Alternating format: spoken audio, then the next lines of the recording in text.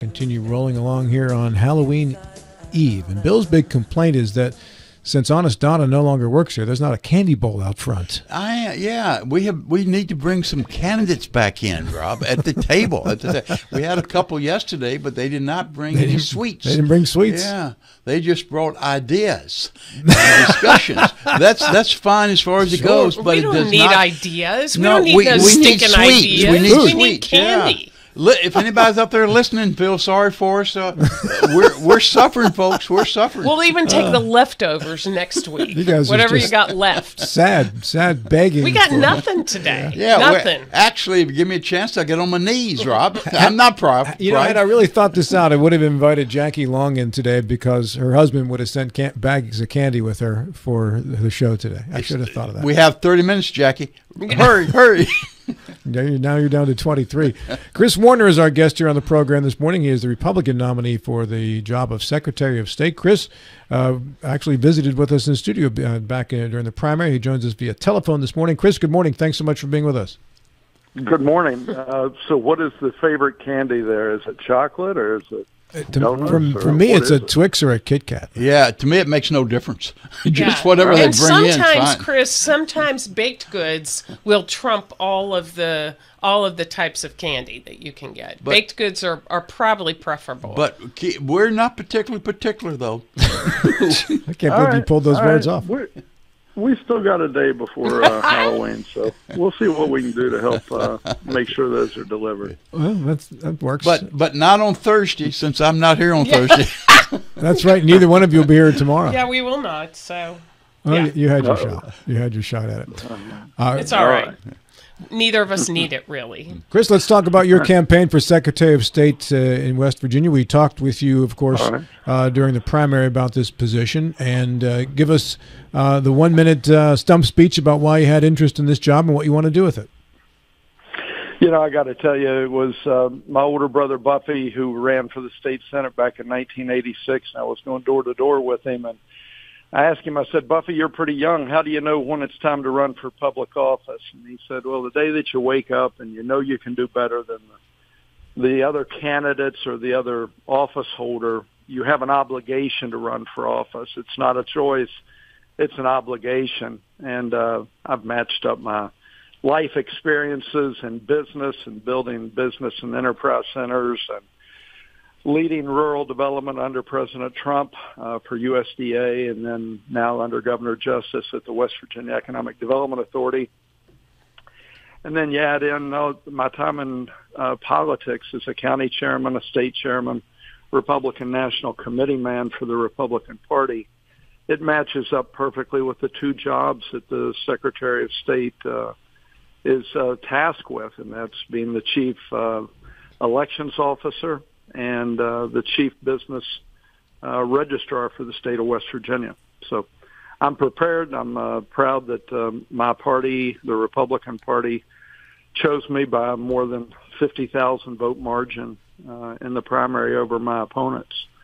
Uh, so I'm ready to go to work and uh, you know continue the good work that uh, has been started over the last seven years with uh, Secretary of State Mac Warner. One of the folks you defeated in the primary, Ken Reed, locally filed an ethics complaint against you with the Secretary of State's office. Can you tell us the status of that complaint, uh, Kris, and what you believe the basis of it to be? Well, I don't know what the the status of the the complaint is. Uh, I know the Secretary of State's office keeps a a tight hold on any investigation, but I can reassure you that we have not done uh, anything wrong. Uh, we followed the letter of the law um, as it relates to campaign contributions and keeping an arm's length uh, transaction, you know, away from any political action committee uh, that may have benefited my campaign. I think, you know, from what I've read on uh, his complaint, uh, the political action committee that he's referring to probably did more to defeat other candidates than they did to help me. But uh, um, we haven't, you know, we haven't done anything wrong. He, he, the complaint said he suspects collusion between uh, a Mr. Scott, Mark Scott, and and you specifically. Were there any workings with the two of you in, involved in the campaign? Um, uh, uh, you're allowed to solicit uh, contributions for a political action committee in West Virginia. You just can't be involved in the expenditure. Um, Mark Scott is a, a friend from many years ago. Uh, we both recruited candidates to run for the West Virginia legislature. Uh, so I'm not going to back away from a, a friendship, but uh, we haven't done anything that is wrong or against the law in West Virginia. Let's talk about what you want to accomplish as the Secretary of State. Your brother, of course, is the current Secretary of State, and one of the things that he did that got praise and some criticism from others was the way that he cleaned up the voter rolls in West Virginia. What would you like to do in regards to a either continuing that program or or b modifying it in its own way to suit what you'd like to do as Secretary of State? You know, one of the things that Mac has done is he's worked very closely with the uh, the county clerks, and I, in fact, I would go back to his uh, first race, and I think one of the main reasons that he was uh, elected uh, was that the county clerks were not working well together with the previous Secretary of State. Uh, but Mac has uh, worked closely with them. I think it's the Secretary of State's duty to uh, make sure that the county clerks have all the tools necessary they uh, necessary to uh, provide clean voter rolls because uh, you know it's clean elections begin with clean voter rolls, but that is something that is not static just because they've removed over 400,000 names from the voter rolls in the last seven and a half years. Um, you know that effort needs to continue uh, and we need to continue providing uh, the tools necessary, new tools, uh, technology uh, that is available to uh, you know determine when someone has moved out of state or is registered to file in another state, uh, and we can always grow those partnerships with other states to find out when someone has moved and not taken their name off the the roll in West Virginia. So we'll continue that excellent work. Um, I've got to compliment the Secretary of State's um, professional staff. Um, you know, they're dedicated employees. They're critical to the operation of our uh, election process. Same goes for the business and, and licensing um, employees. Um, they they do an excellent job, and uh, we'll continue that effort. Will you maintain most of that staff should you win the office, Kris? Yeah, yes, sir. And I think um, you know I think that's why there were as many candidates as there were in the Republican primary. Even had Democrats and former unaffiliated uh, candidates switching parties to the Republican Party, and that is um, to run for Secretary of State. Is there's an excellent staff there. Uh, you know, the Chief of Staff, uh, Deak Kersey, and uh, legal counsel uh, Dave Cook uh, and the entire elections division. Uh, I have no intention of making any immediate uh, changes there um, because they have such an excellent staff. They're well thought of. I just stopped by the Secretary of State's office yesterday and saw Kathy at the at the front desk, and she told me what an excellent job when she forwards the phones back to the folks in elections, and you know, people are trying to find out can they still register to vote, or they're, you know, you know, whatever their questions may be. She goes, I never get a second phone call back. They always handle the calls on the first call uh, back to the the elections division. So, very proud of that uh, that effort, and uh, we want to make sure that we continue that good work, and that means making no changes. Maria Lorentzen. Um, so, Kris, your opponent um, spoke a little bit about the um, methodology by which people can vote. Um, clearly, there's been an and I don't know that uptick is the right word, but um, certainly in this election, people have been very um, uh, very inclined, yes, to um, to vote early. Your opponent talked about voting early by na- by mail. How do you feel about um, about mail votes? M A I L. Yeah. Men should not be allowed to vote. Men should not be allowed to vote. I'm just kidding. um, you know, you you see our we have an absentee by mail uh, option. You know, there are four or five ways to vote, and we have more ways to vote in West Virginia than most other states in the in the country. And you know, the absentee by mail uh, is for specific reasons. It's not a convenience uh, voting by mail. It's absentee by mail, and that's because that's the way the West Virginia legislature laid that out. So as long as you check the box and you fit into one of those 11 categories, I think absentee by mail is, you know, again, an important part of the, you know, the number of options that you have available. You know, we have in person on election day. It's by far the safest and secure under the watchful eye of a, a Democrat and Republican uh, poll worker and people there to assist if you need it. Uh, you know, we have early voting, which is 10 days of early voting to include two Saturdays. That's also, uh, you know, a very safe and secure way to to vote. Um, again, there are people there to help in those early voting locations. Um, but we also have, uh, for those that are in the military, active duty, and emergency responders. Let's say someone's down in North Carolina right now helping you know, with the, the flooding that has occurred and they decide they want to vote, they can vote from their mobile device. They can use their phone and the Secretary of State's office has, you know, a five or six step process that they go through to make sure that that, that vote is safe and secure and, uh, you know, it's easy to vote but hard to cheat. Bill? Uh, Kris, uh, your brother Mac received a lot of uh, uh, national applause for the way that West Virginia handled the last election. And uh, he, in fact, I think he testified in front of Congress the steps he took. Uh, Mac was also fairly critical of other states. will you be equally critical following the election? You know, I had a question the other evening um, and they wanted to make sure that you know their vote was counted, but wondered what you know if their vote was diminished in any way by uh, you know what happened, for example, in in Pennsylvania, and I mentioned specifically where the Secretary of State in the last presidential election decided to let votes continue to roll in up until three days after the election.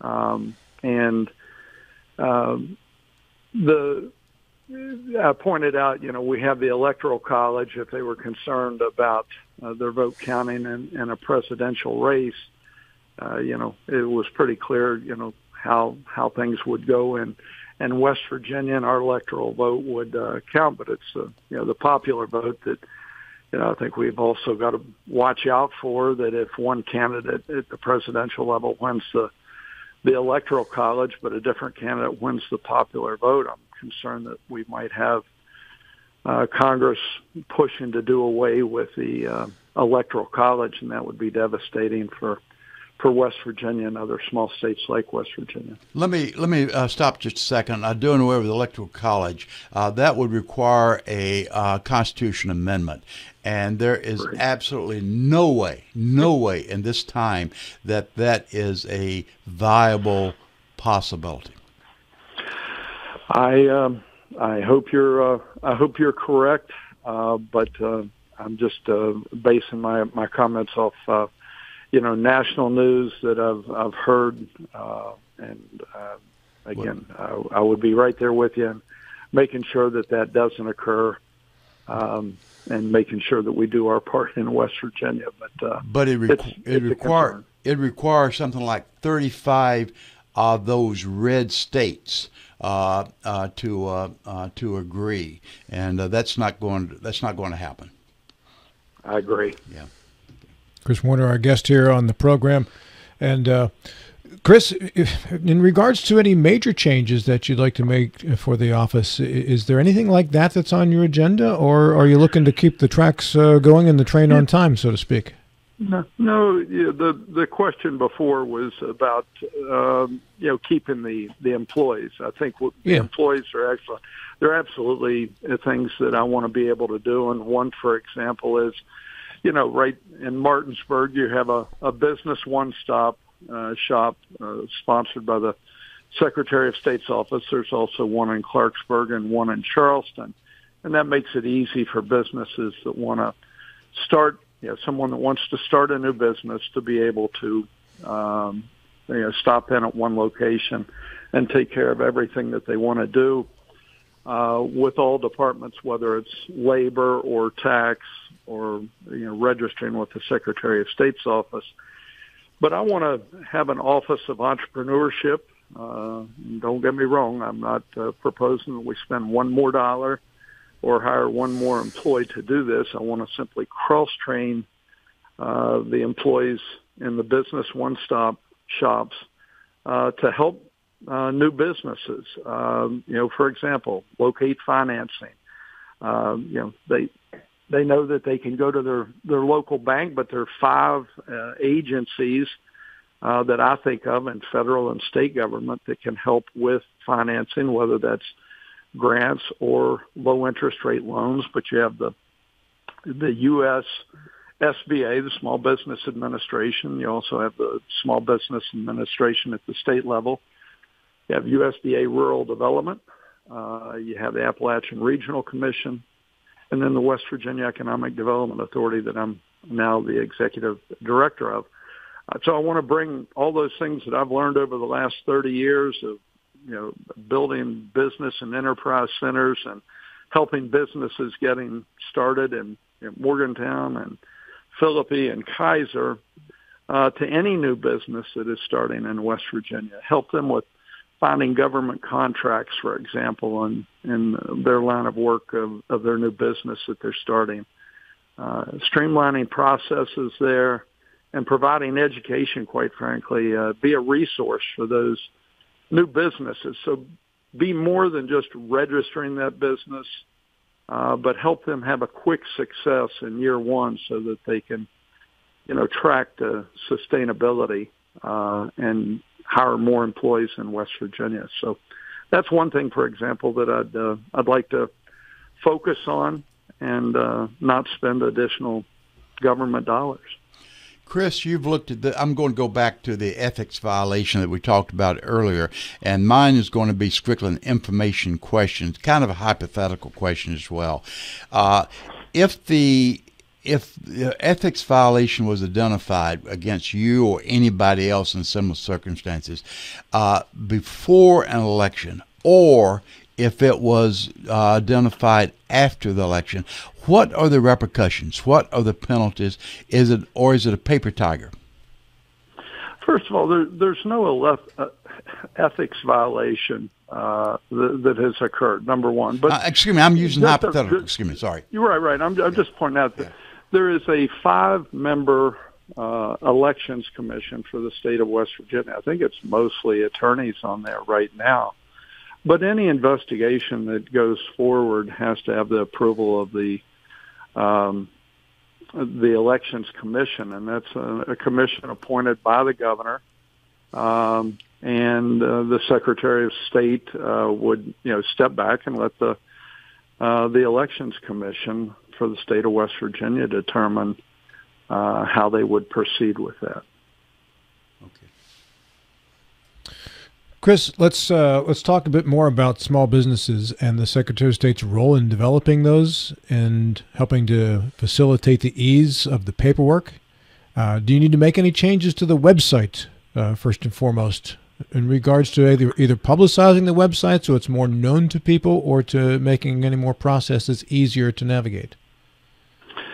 Absolutely, I think we um, we need to uh, continually upgrade. But uh, one of the things that I've asked about uh, about the website, and I've heard from the Secretary of State's office, is that they uh, all all contracts like that go through the through the state, and it is a uh, it is a long process to be able to to make those changes and upgrades. But um, there there are several things in addition to knowing that it's, it's state government. You got to work through the process um, I absolutely think that we need to, you know, upgrade the the website and continually upgrade the website. One of the things that I'm excited to, you know, carry on, and I know that they've started right now, is um, they are trying to find the, the, the 900 most asked questions of the Secretary of State's office have been identified, and uh, they're using artificial intelligence uh,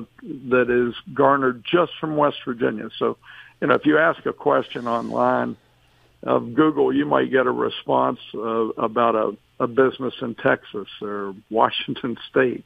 Uh, but the Secretary of State's office in West Virginia is focused on those questions asked of the Secretary of State's office here in West Virginia and they're coming up with the answers and having uh, the legal uh, department uh, you know check those answers so that you get the same answer whether you're calling in and talking to someone that's only been with the Secretary of State's office for one year or someone that has been there 25 years. Consistency. And the same goes with the yeah. website to be able to ask those questions and have those uh, questions answered, whether it's 2 o'clock in the morning and you've decided you're going to start your own business, um, or uh, uh, you, whether it's the middle of the day and you get the same answer from the person answering the phone. Kris, on that note, using the same computer. I got to jump in because we're out of time. Thank you so much for yours. Best of luck to you in the upcoming election, sir. Thank you. Thanks, Thank, Kris.